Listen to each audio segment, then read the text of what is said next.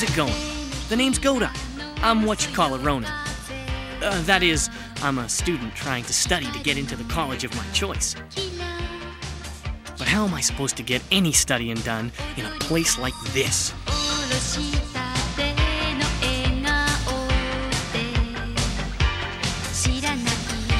And that's not even mentioning the, uh, new manager.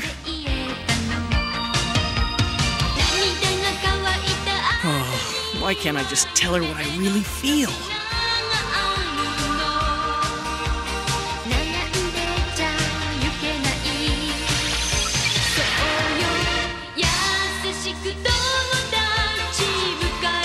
Maison from Viz Video, because home is where the heart lives.